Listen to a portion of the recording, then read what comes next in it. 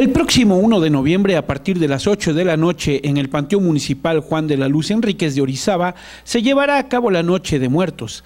Esto con la finalidad de rescatar esta tradición en nuestra ciudad.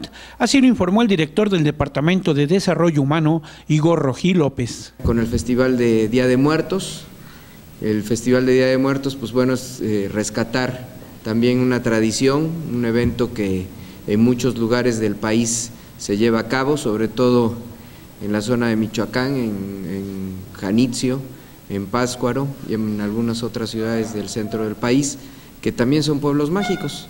Entonces, eh, queremos dar eh, este, este nuevo evento para la ciudadanía, para la zona centro de las altas montañas, como un, como un rescate también de tradiciones para, para la ciudad de Orizaba.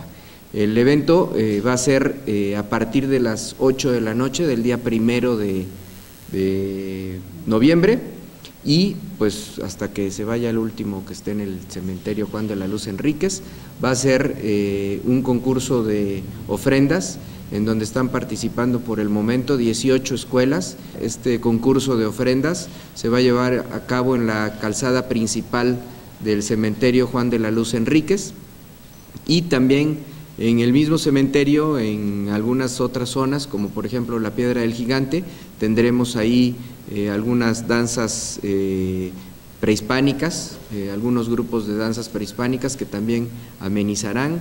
En la zona del ángel, del de la Niña del Ángel, también vamos a tener ahí bailables folclóricos y en la zona de Ignacio de la Llave vamos a tener algunos otros, por ejemplo, eh, un cuenta leyendas va a haber. Eh, queremos que a través de ustedes, pues bueno, llegue a la ciudadanía y que la gente vaya y, y pues visite a sus seres queridos y decoren este, estas tumbas, ¿no? De una manera tradicional. De igual forma, Igor Rojí dio a conocer que en coordinación con la Asociación Civil Francisco Gabilondo Soler Cricri, presentarán el próximo 28 del mes en curso en el Teatro Ignacio de la Llave el espectáculo ¿Y quién es ese señor? El cual tendrá un costo de 50 pesos y lo recaudado se donará a una institución de asistencia de Orizaba. Su primer evento de la Fundación en materia musical que se organiza, eh, ellos ya tienen una compañía en donde si ven ustedes este cartel, ¿no? en donde va a ser un espectáculo con canciones, cuentos y mundos dibujados por Francisco Gabilondo Soler. Es un espectáculo que trae Oscar Gabilondo, Oscar Gabilondo que estuvo hace unos días aquí con nosotros, nieto de, del autor, ¿no? de este famoso orizabeño que, pues bueno, a todos nos trae muchísimos recuerdos.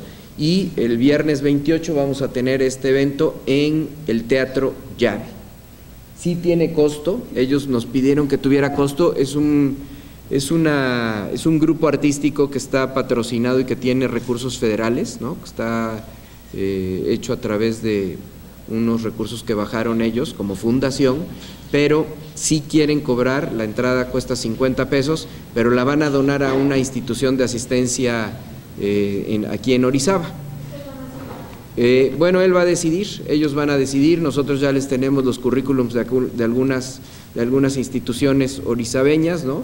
Para Imagen del Golfo, Oscar Reyes.